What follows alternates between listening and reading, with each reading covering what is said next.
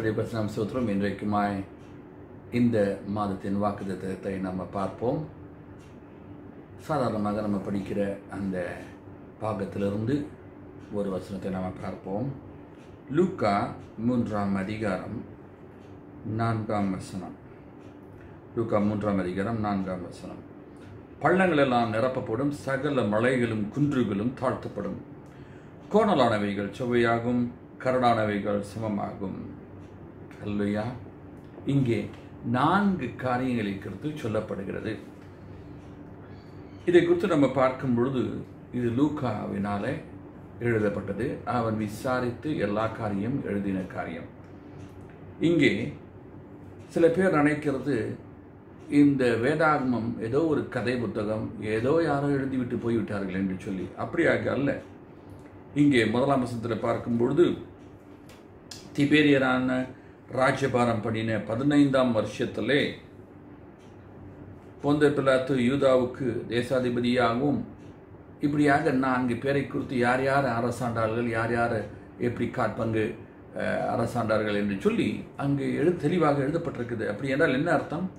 இது ஒரு மாயான ஒரு கதை புத்தகம் அல்ல ஆனால் இது ஒரு சரித்திரம்.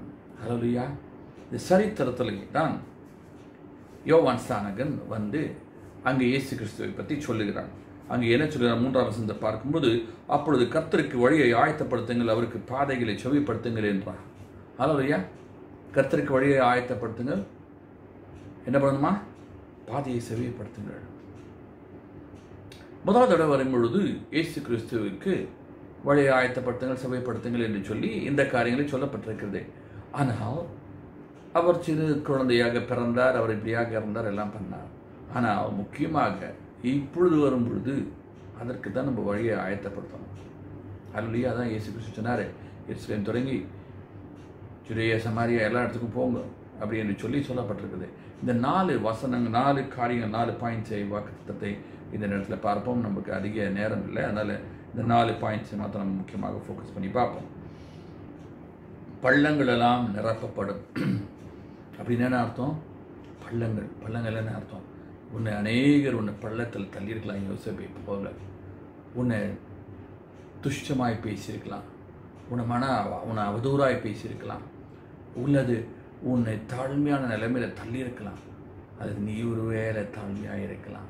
அந்த கற்று சொல்லுகிறார் உன்னை வளாக்காமல் தலையாக்குவேன் கீழாக்காமல் மேலாக்குவேன் என்று சொல்லி. ஹலோயா இது அவர் சொன்ன அந்த வாக்கு திட்டங்கள் அவர் சொன்ன அந்த ஆசீர்வாதங்கள் கடைசி காலத்தில் அவர் இயேசு கிறிஸ்து மறுபடியும் வர்றதுக்கு முன்பதாக அதெல்லாம் நடக்கணும். இல்லைன்னா நிறைய பேராத சும்மா ஏதோ கதை போ ஆகிவிடும். ஆகையால் இதெல்லாம் கத்திரவனை உயர்த்துவார். ரெண்டாவது பாயிண்ட்டு சகல மலைகளும் குன்றுகளும் தாழ்த்தப்படும். மலைகள் குன்றுகள் என்று சொல்லும் பொழுது இரண்டு காரியத்தை நம்ம பார்க்க வேண்டியதாக இருக்குது. மலைகள் வேறு குன்றுகள் வேறு. மலைகள் பெருசு குன்றுகள் சின்னது. அப்பொழுது ஆவிக்குரிய பெருமைகள். உலக பிரகாரமான ம- பெருமைகள். இப்படியாக பெருமையான நாடுகள் இன்றைக்கு பாருங்கள் எல்லாம் தாழ்த்தப்பட்டு ஒன்றும் இல்லாமல் என்ன செய்யுதுன்னு தெரியாமல் இந்த கொரோனா வைரஸ் வந்து எல்லாத்தையும் அட்டாக் பண்ணி ஒன்றும் இல்லாமல் பண்ணி விட்டுருச்சு. கனடா பிரைம் மினிஸ்டர் அவர் போய் ஒஞ்சிக்கின்னு உள்ள நாலு சதத்துக்குள்ளே அவரும் மனைவியும் உட்காந்துருந்தாங்க பிரிட்டிஷ் பிரைம் மினிஸ்டர் அவர் இங்கிலாந்து பிரைம் மினிஸ்டர் அவர் போய் உள்ளே போய் உட்காந்துருந்தார் இப்போ தான் வெளியே வந்திருக்காரு. மனைவிக்கு குழந்தை பிறக்க போது ஆனால் போயிட்டு உள்ளே போய் உட்காந்துருந்தார் பதினாலு நாள். பிரின்ஸ் சார்ல்ஸ் அவர் போய் உள்ளே போய் பார்த்துருந்தாரு அது இல்லாமல் ஒரு ராணியே இறந்து போயிட்டாங்க. ராஜகுமார்த்தி. எவ்வளோ பெரியவங்களாக இருந்தாலும் அது ஒன்றும் இல்லாமல் தாழ்த்தி விட்டுருச்சு எல்லாத்தையும். அல்லையா சில பேர் ஒருவேளை ஆவிக்குரிய ரீதியில் கூட பெருமை உண்டு. நாங்கள் பெரிய சர்ச்சுக்கு போகிறோம் எங்கள் சர்ச்சில் மியூசிக் பெரிய இதாக இருக்கும். நாங்கள் இது நாங்கள் தான் பெரிய ஆட்கள். எங்கள் சபை தான் பெரிய ஆட்கள். நாங்கள் தான் மனவாட்டி நாங்கள் தான் இது. எல்லா பெருமைகள் எல்லாம் தாழ்த்தப்படும். ஆவிக்குரிய பெருமைகள் உண்டு. உலக பிரபலங்கள் எல்லாம் தாழ்த்தப்படும். மூன்றாவதாக கோணலானவைகள் சுவைப்படும். இன்றைக்கு கோணலாக வாழ்க்கையெல்லாம் கோணலாக இருக்குதா? ஐயோ ஏன் என் வாழ்க்கை? பிஸ்னஸ் ஆரம்பித்தா ஒழுங்காக ஓட மாட்டேங்குது வேலையை செய்தால் ஒழுங்காக ஓட மாட்டேங்குது எதை பண்ணாலும் ஒழுங்காக நட ஓட மாட்டேங்குது ஒன்றுமே நேராக இல்லை. கோணலான வழிகளை நேர்படுத்துவார். அதாவது செவ்வைப்படுத்துவார். வழிகளோடு கோணமாக இருக்கலாம் ஆனால் கிறிஸ்து வந்தது காரணம். அப்படி குழலான வழிகளை செலவுப்படுத்த அலலுயா அடுத்ததாக பார்க்கும்போது கரடானவைகளை சமமாகும். கரடு முரடு சில பேருக்கு பாருங்க கரடு முரடு இருதயம் கரடு. ஒரே கல்லான இருதயம். புருஷனுடைய இதயம் கல்லா இருக்கா? மனைவியுடைய இதயம் கல்லா இருக்கா? பிள்ளைகளுடைய இதயம் கல்லாக இருக்குதா? அல்லது பாசுடைய இதயம் கல்லாக இருக்கிறதா? அதெல்லாம் உடக்கி உடைச்சி முழுக்குவார் அலலுயா கரடான இருதயங்கள் கல்லான இருதயங்களை கர்த்தர் ஸ்மூத்தாக்குவார் அலலுயா சமமாக்குவார் ந- மென்மையாக்குவார் கல்லான இதயத்தை எடுத்து போட்டு சரியான இதயத்தை கொடுப்பேன் என்று சொல்லி சொல்லப்பட்டிருக்கிறது அப்படியாக உனக்கு உனக்கு விரோதமாக இருக்கிற மலைகள் இருக்கலாம் உனக்கு விரோதமாக கரடு முரடானவைகள் இருக்கலாம் உனக்கு உண்பதாக கோணலானவைகள் இருக்கலாம் உன்னுடைய வாழ்க்கை தாழ்த்தப்பட்டிருக்கலாம் ஆனால் கத்தர் இன்றைக்கு சொல்கிற காரியம் கத்தர் உன்னை உயர்த்துவார் உன்னை வலாக்குவார் தலையாக்குவார் கீழாக்காமல் மேலாக்குவார். உனக்கு விரோதமாக இருக்கிற மலைகளும் குன்றுகளும் உடைந்து போகும். கோணலானவையில் வாழ்க்கையில் எல்லாம் சீர்படுத்தப்படும். உன்னுடைய கரடமுருடான உனக்கு உள்ளதான கரடுமுரடான காரியங்கள்லாம் நேராக்கப்படும்.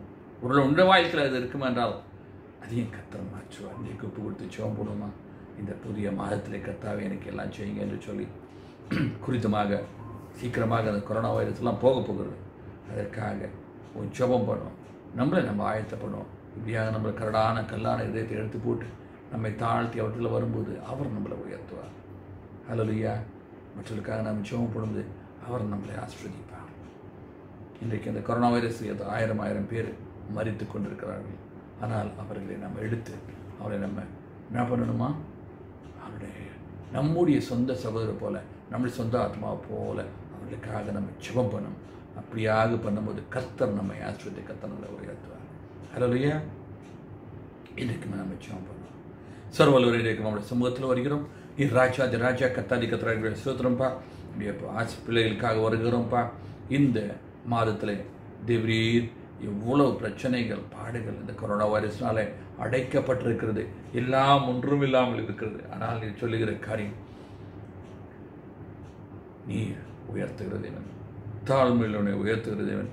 பள்ளங்களெல்லாம் உயர்த்தப்படும். இன்றைக்கு பேங்க்கு ப பேங்க் பேலன்ஸ் பார்த்தா பள்ளம் ஆயிடுச்சு பணம் பார்த்தா பள்ளம் ஆயிடுச்சு அரிசி பாக கூட பார்த்தா பணம் ஆயிடுச்சு எல்லாம் காலியாகுது. ஆனால் எல்லாவற்றையும் நிறைவாக்குகிற தேவன்.